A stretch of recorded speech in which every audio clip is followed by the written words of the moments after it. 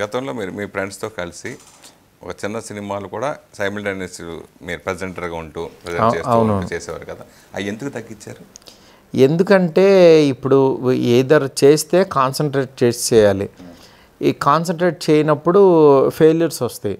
ఆ ఫెయిల్యూర్కి కారణం నేను కాదని మళ్ళీ నేను తప్పుకుని వాళ్ళని ముందు పెట్టకూడదు. ఎందుకంటే నేను ఎత్తుకున్నప్పుడు నేనేంటంటే వాళ్ళని కరెక్ట్ చేయకూడదు అనుకుని పక్కకి వెళ్ళిపోతా. అప్పుడు తెలియకుండా వాళ్ళు చేసిన మిస్టేక్ వల్ల దేనివల్ల ఇది అవుతుంది ఆటోమేటిక్ మీకు కూడా కొంచెం నాకేమవుద్దంటే నా పేరు వేసి చేస్తున్నప్పుడు నేను కాన్సన్ట్రేట్ చేయకపోతే ఎట్లాగా అనేది బయట వాళ్ళకు ఉంటుంది.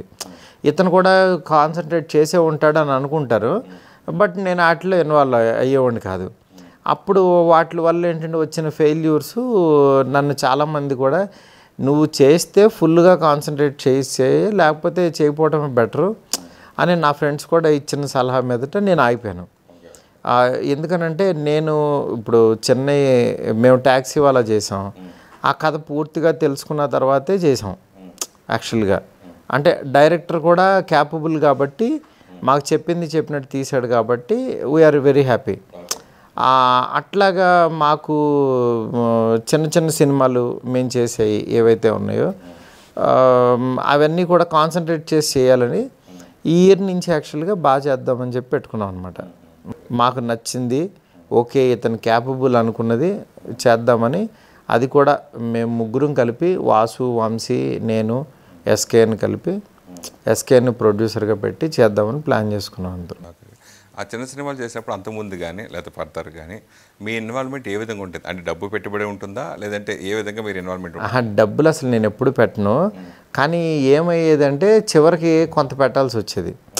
ఎందుకనంటే నా బ్యానర్ ఇప్పుడు వాళ్ళకి ఎలా ఉంటుందంటే కొత్త వాళ్ళు వచ్చిన వాళ్ళు ఫస్ట్ టూ అండ్ హాఫ్ క్రోడ్స్లో సినిమా ఓకేనండి అని అగ్రిమెంట్ చేసేసుకునేవాళ్ళు. దాని తర్వాత ఈ రన్నింగ్లో ఏమయ్యేదంటే అప్పుడో ట్వంటీ ఫైవ్ అప్పుడో ట్వంటీ ఫైవ్ పంపిస్తూ ఉంటారు.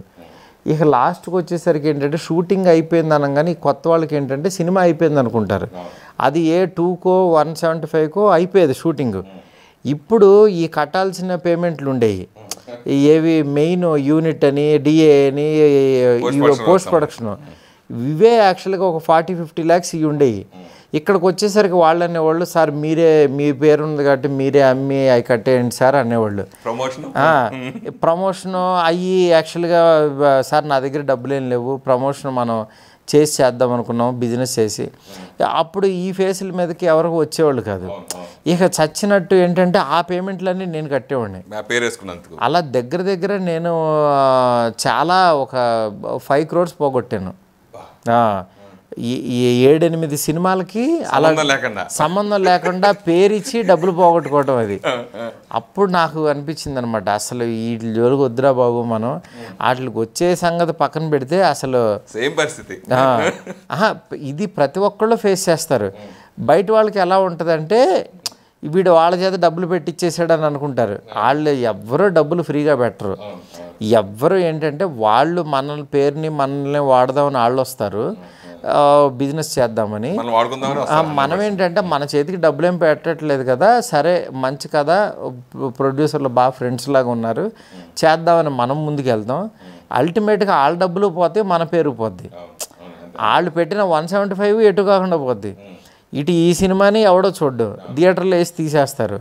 ఇది చివరికి ఏ శాటిలైట్ ఏ ట్వంటీ ఫైవ్ థర్టీన్ వచ్చి అది మన అప్లికేషన్ మీద అది కూడా. అది మనం ఫోర్స్ చేసి మనం ఏ జీ తెలుగుకో ఎవరికో చెప్పి బాగుంటుందని నేను చెప్పి వాళ్ళని పట్టుకుని చేసిన తర్వాత అప్పుడు యాక్చువల్గా దానికి ఎంతనో వస్తుంది. ఆ ట్వంటీ ఫైవ్లో వాళ్ళు సగం తీసుకుని మిగిలిన సగం ఏమైనా పేమెంట్లు ఉంటాయి కడతారు వాళ్ళు. చివరికి అలా ఎండ్ అయిపోతుంది. అందుకని అసలు ప్రాపర్ బిజినెస్ ప్లాన్ లేని సినిమా చేయకూడదు. దాన్ని చేయడం వల్ల అందరికీ డబ్బులు పోయే శ్రమ వాళ్ళకి టైము ఇవన్నీ వేస్ట్. అందుకే చిన్న సినిమా ఈ చిన్న సినిమాలు ఒక రెండు వందల సినిమాలు రిలీజ్ అయితే ఆ ఇయర్ చెప్పుకోదగ్గ సినిమాలు రెండో మూడో ఉంటాయి ఒక పెళ్ళి చూపులు లాంటిది. ఓ ఇట్లా ఒక రెండో మూడో సినిమాలు అవుతాయి. అవి అందుకని ఆ రెండు మూడు సినిమాల కోసం ఈ రెండు వందల మంది గేమ్ ఆడతారు. అందుకని అది కరెక్ట్ కాదని నా ఫీలింగ్.